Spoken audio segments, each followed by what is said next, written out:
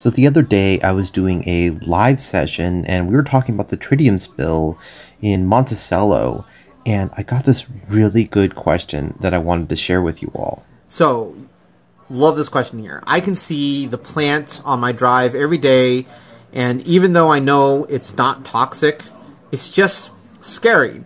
And the fact that it was found in the groundwater is just spooky.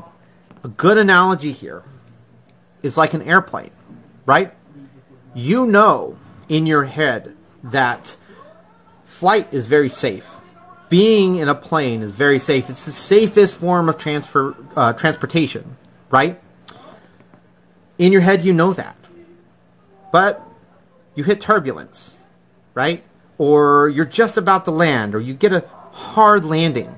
Even though you know in your head this is safe, some turbulence happens and automatically you are going to have feelings of anxiety.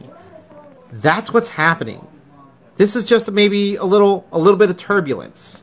Um, and everybody's anxiety is getting a little high there because we've seen things. People have seen plane accidents happen, right?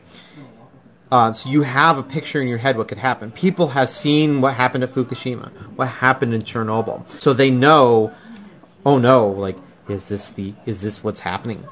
Um, so it is completely understandable that you would have that fear and, and anxiety. Um, but it's good to remind yourself, like you're reminding yourself in the plane when, okay, we're safe. I've, I've done this before. We've done this before.